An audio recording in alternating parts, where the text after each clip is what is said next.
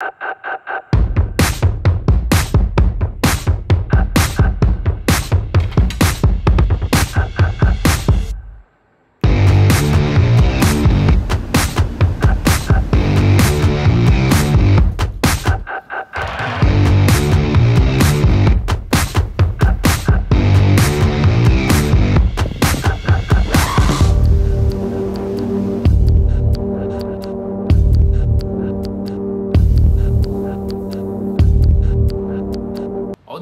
Parliamo di loro, i nuovi Ray-Ban Stories, in collaborazione tra Facebook e Luxottica, ovvero Ray-Ban. Si stanno rivelando più interessanti del previsto. Ora vi spiego. Andiamo a farci un giretto.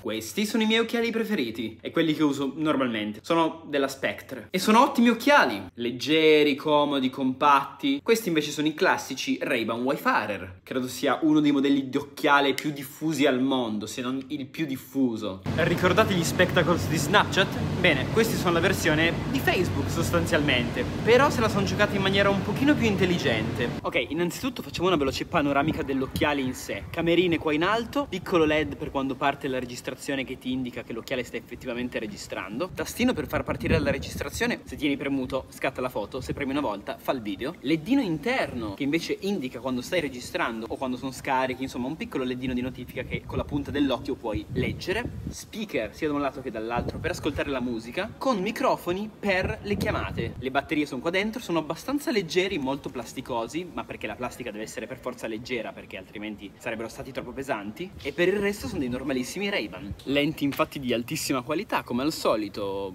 sono, sono veramente ottime. Ci sono anche trasparenti, ci sono diversi modelli a livello estetico. Non mi è mai capitato che mi, mi fermassi e mi dicesse ma hai delle telecamere negli occhi, cosa, cosa sono? Cosa...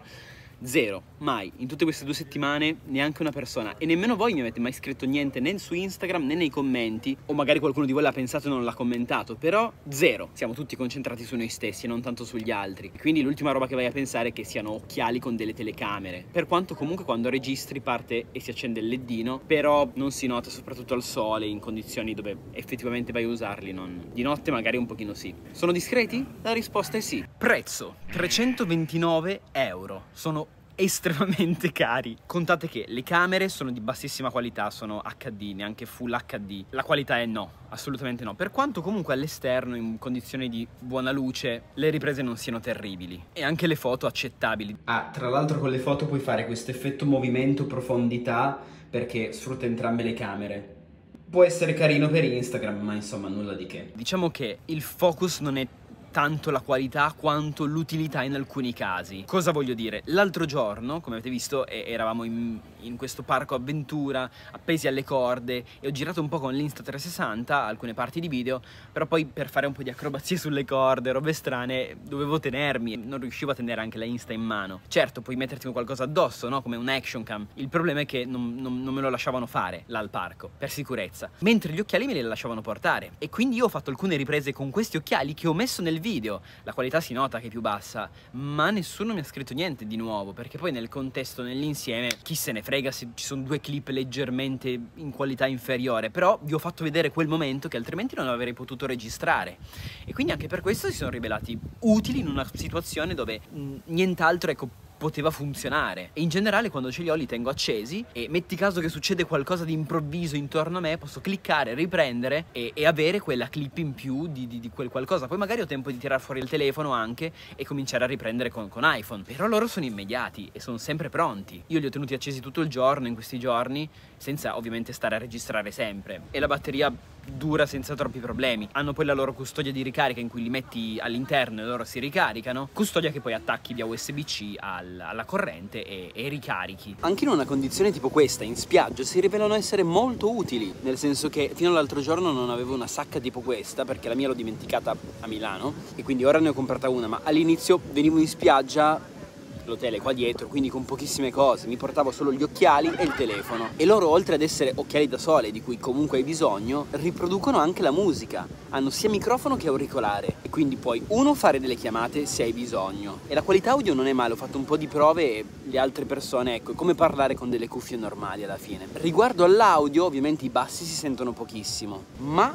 quando sei così in spiaggia all'esterno oppure mentre corri, tipo stamattina, sono veramente, veramente molto interessanti e non pensavo li avrei sfruttati e invece fichissimo. Unico appunto che devo fare quando tu fai un tap sulla, sulla stanghetta, parte o stoppa la musica, due tap skippa canzone e se scorri abbassa e alza il volume. Mi è capitato spesso quando erano collegati al telefono di volerli togliere, spostarmi i capelli, sfiorare la stanghetta e di far partire la musica quando non volevo farla partire. Ecco, succede un po' troppo spesso questa cosa, che non è proprio il massimo. Quindi anche dal punto di vista ascolto possono di nuovo tornare utili. E 300 euro sono effettivamente tanti, troppi per questi occhiali, quindi no, non comprateli, non, non ha alcun senso.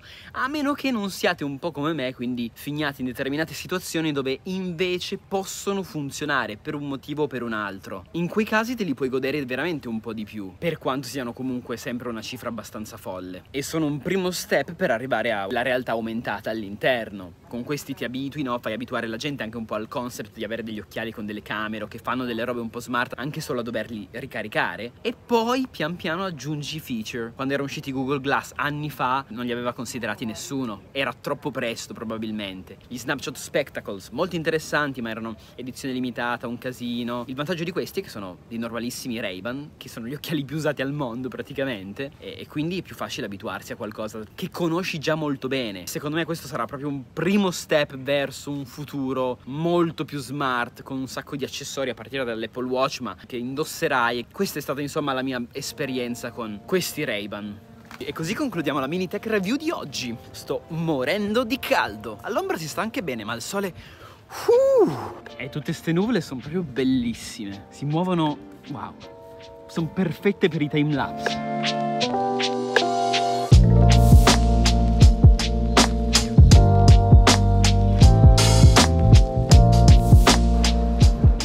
super fresco, anche perché lo pescano qua, quindi il sushi lo sanno fare bene. Questo posto continua a stupirmi.